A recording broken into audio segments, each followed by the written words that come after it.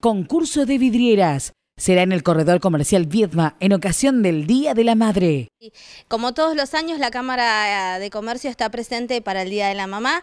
Este año vamos a hacer un evento similar y distinto a la vez que tiene que ver con un paseo de vidrieras, con un concurso de vidrieras, eh, pero este año lo vamos a hacer en el corredor Viedma, así que obviamente toda la gente, toda la ciudad está invitada a que pueda eh, ver las vidrieras lindas que, va a haber desde el principio de Viedma hasta el final, incluida Pellegrini. Sí, justamente, bueno, como bien contaba Silvana, entre el 14 y el 21 los comercios de Viedma y Pellegrini se van a engalanar por el Día de la Madre.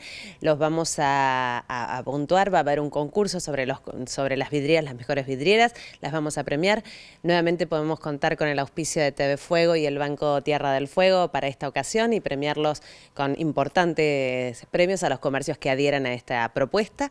Así que bueno, esperamos que la gente venga entre el 14 y el 21. El jurado va a estar compuesto por los, los que han participado del taller de vidrieras que hicimos y también invitamos invitamos a todos a que vayan a ver las vidrieras que han preparado sobre la calle Rosales, eh, la vidriera de, de Haas, Autofarma, Isabel y Solo Música, que sí están hechas por, por los profesionales de la vidriera.